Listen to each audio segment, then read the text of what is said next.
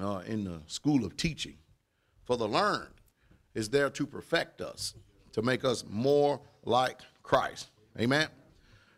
We're going to go to a few Psalms just for a second and get a good understanding. We're going to do the Gospels itself, read the Gospels itself, and we're going to see what Jesus had to say himself. Amen.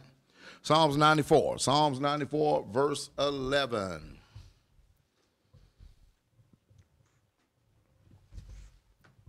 So, where we might think that we're escaping men and then it's over with, we are not going to escape the Most High.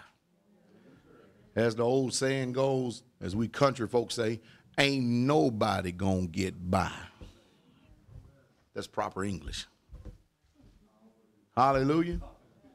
Now you think about it, how many times have you ever deceived people with your thoughts? All right. You see, this is kingdom perfecting. Hallelujah. Amen. All right. The Lord knoweth the thoughts of man. What does he know of man? The thoughts of man. Did y'all hear that? He knows the thoughts of man. Isn't that something? I mean, over and over again, we, we the scriptures often pop up in our mind. You know, by your words you're justified, and by your words you're condemned.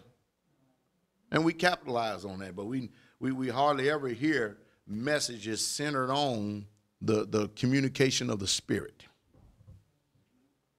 What is really going on? The Lord knows the thoughts of man that they are vanity. Y'all hearing that? They are vanity. Drop on down to verse 19. In the multitude of my thoughts within me, thy comforts delights, delight my soul. Did y'all hear that? So there's a way you can even um, experience joy, comfort, and pleasure. But it, you have to get control of that inward man. Come on, sometimes we let that inward man just run unchecked. We don't put him through any checks and balances.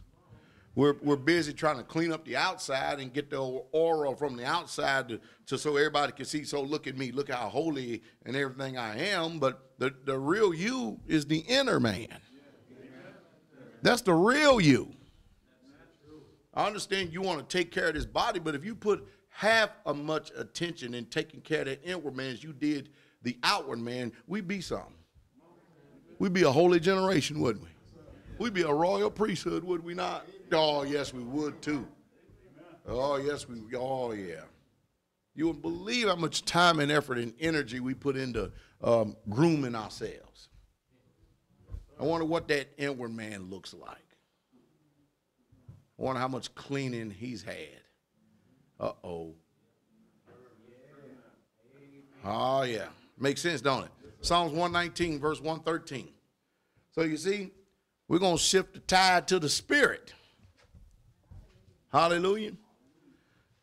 Because we don't want to present um, our soul before the king dirty. You know, we hit it all the time. We pray, you know, what the scripture says, Lord, that your whole spirit, soul, and body be preserved blameless until the coming of the Lord. And since we're in this natural realm, what we spend the most time perfecting and working on? Body. And the spirit man is neglected. Now, we don't neglect the soul man, we just capitalize on the wrong emotions of the soul man. or, you know, the wrong manifestations of the soul man. You know what I mean? I mean, if the soul man can can uh, be angry and upset and all this other stuff, then surely you can control that soul man and, and, and rejoice in the Lord or praise his holy name. But see, the difference in the dynamic is, is that when you're angry and stuff, you think is is really originating and coming just only from your free will when you're really being controlled. Because remember, the scripture says anger rests in the bosom. Where's the bosom at then? Of fools. Isn't that something? So if you got manifestations of anger and stuff, and yet you're expressing that, but then when I mean the, the most highest do all praise all glory and all honor. But see that right there, it doesn't come by how you feel. It comes it comes by your free will to do it. And once you do it, then, then, you know, as old saying, when the praises go up, the blessings come down. See, it takes an active knowledge of your will. You can't wait till you feel like praising. You never wait till you feel like you're angry, do you? You're responding on impulse. Are you not? Listen to the book. Shalom. I hate vain thoughts, but thy law do I love. Did y'all hear that? I hate vain thoughts, but thy law do I love. Is that not something?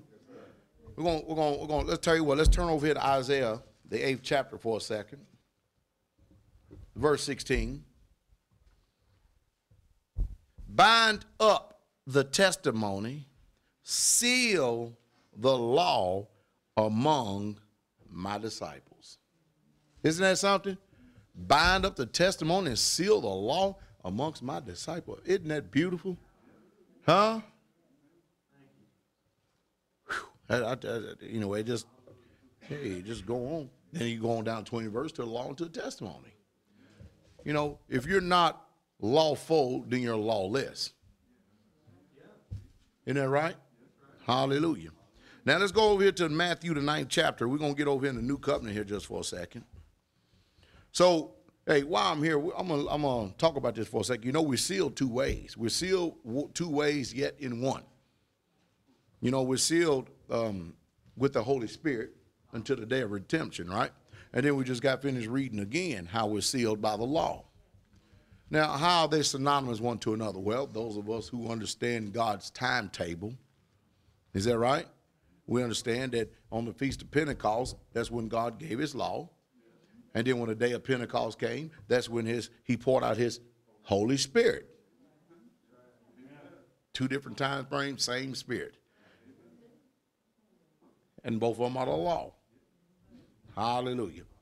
Where, you know, the children of Israel, um, they journeyed and they went into the wilderness of Sinai and they received the law on the day of Pentecost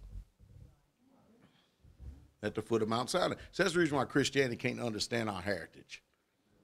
They can't, you know, it, it's impossible because they're coming from a wrong perspective.